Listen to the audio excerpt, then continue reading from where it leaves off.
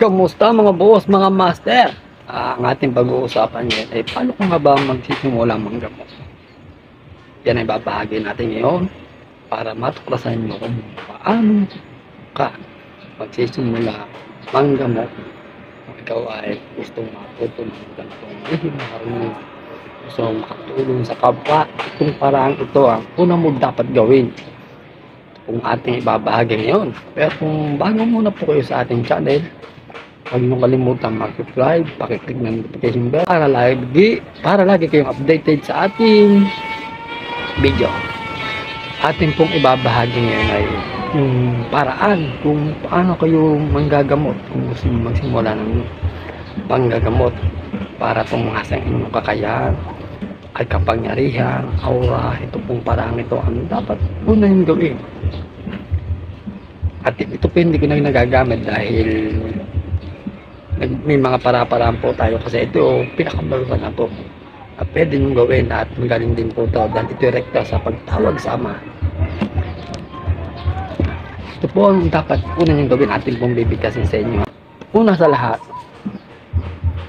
magdasal ng isang ama namin. Kumpletehin nyo po yung dasal. Hindi po yung hanggang pinuputol hanggang doon lang sa maparito nawain yung karian sa lupa gaya sa langit. Ang gawin po kung setong isang ama namin, yung morma natin ka talang gagawin niyo. At siyang sumasampalataya at siyang luwalhati. Pag nagawa niyo na po ang dasal niya, ito po ang inyong bibigkasin itong orasyon ito para po sa inyong pasimula ng gamutan para magkaroon kayo ng kakayahan at bendisyon ng Ama kapag pagaling.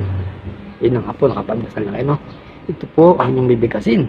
Ama kong nasa langit, ipahintulot mo po na pagharian ang kalooban ko. Pagpapagaling ng karamdaman ng mga may sakit. Hmm.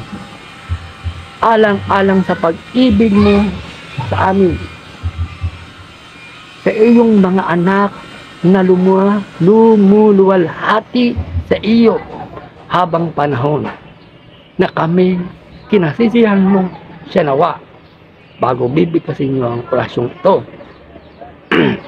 Jesus, Jesus, Dominos, Deus Sabaoth, Jesus Jah, Jesus Adonai, Jesus Elohim, Jesus Jehovah. Yan po ang gagawin nyo kung kayo makisimula ng gamot. Gusto mo makatulong na kapwa. Dahil maganda po tulungan ng mga taong kapag matuto nung ikay magsisimula sa ng karunungan iyon. Lalo na sa larangan ng panggamot kung matutuklasan itong mga salitang ito. At alam niyong kung paano gagawin. Kaya na sinabi ko paano ko tinuro sa inyo. Dasal muna sa ama namin. Isang sumasampalataya sa lawalwahati. Bago ito pong ating binigas na ito, iduktong nyo. Tsaka po yung Latin. Ayan po. Tsaka kayo magsimula ng gamutan dahil ito ay pampataas ng aura. Pampataas ng inyong kakayahan. At para bigyan kayo ng ama ng kakayahan makapagpa galing dahil sa orasyon nakalagay dito. At ito'y parang kasama talaga sa panalangin para maging bukal ang pagtulong nyo sa kapwa ay gamit dapat talaga may basbas. Ito ay paghingi ng basbas kanya. At yung mga nyo pang ibamatuhan, yung mga pangkilot-kilot, mga pang-ipit, panawag, nahata na lang po natin yan. Kaya wala na kayong masyado pang hahanapin pa.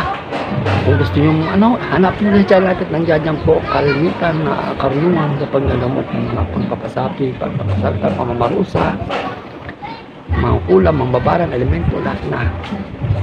At gawin nyo po ito araw-araw kung kayo ay hindi pa nakapagsimula. Mas maganda inaaraw-araw nyo na ito. Pero kung maganda araw-araw nyo na ng 49 days, pwedeng matas diamis na lang yung gawin.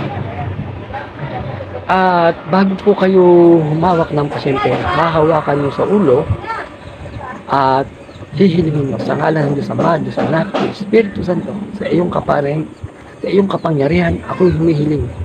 Mapagaling ko nawa ang taong may sakit na ito sa iyong tulong. Bago nyo hilutin o bago nyo hanapan ng mga bati-bati, yan po ang kasubaran ng pangalaman. Ito po ay